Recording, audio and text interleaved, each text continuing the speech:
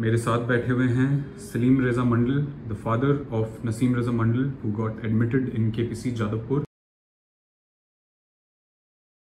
অনেক দিন থেকেই আমি শিক্ষাতে যাওয়া আসা করছি প্রথম দিনে এসেই ইনাদের সব কিছু দেখে আমি যথেষ্টই হ্যাপি ছিলাম এবং আমার অনেকটা কনফিডেন্স হয়েছিল যে কারণ বর্তমান যুগে তো প্রচুর চিটিং হচ্ছে বিভিন্ন জায়গায় আমাকে তো অনেকে ফোন করে কম টাকায় করে দেবে এগুলো বলেছে কিন্তু শিক্ষা প্রথম দিন থেকে এসে যেগুলো বলেছে তার নিজস্ব জায়গাতে স্ট্রিক্ট আছে যে আপনার এই নম্বরে এটা হবে বা এটা হবে না, খোলাখুলি আমার সঙ্গে ডিসকাস করেছে এ ব্যাপারে। এবং আমি যতবারই এসেছি, ওনারা ফোন করে আমার সঙ্গে যোগাযোগ রেখেছেন, যেহেতু দু তিন মাস ওয়েট করতে হলো।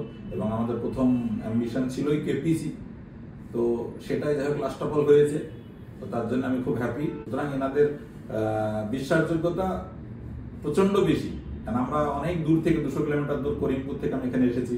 এবং এনাদের কথার উপর বেস করে দিয়েছে এবং উনি আমাকে প্রথম দিন বলেছিল যে যে আপনি অ্যামাউন্টটা দিলেন, এই প্যাকেজ করে দিলাম স্ট্র্যাপলার করে দিলাম, আলমারিতে আমার ভরা থাকল, যেদিন, যদি না পারি আপনাকে, এই প্যাকেট আপনাকে আমি রিটার্ন করে তো আমাকে যেদিন রিটার্ন করল, আমার সামনেই সেই প্যাকেটটা খুলেছে।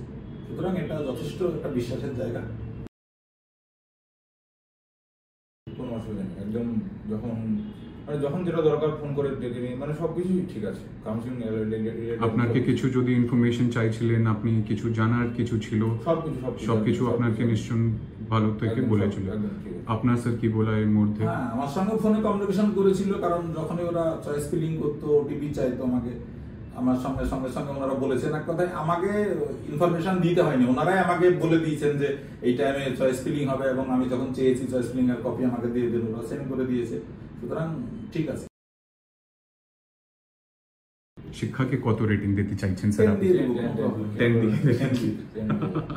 Thank you thank you sir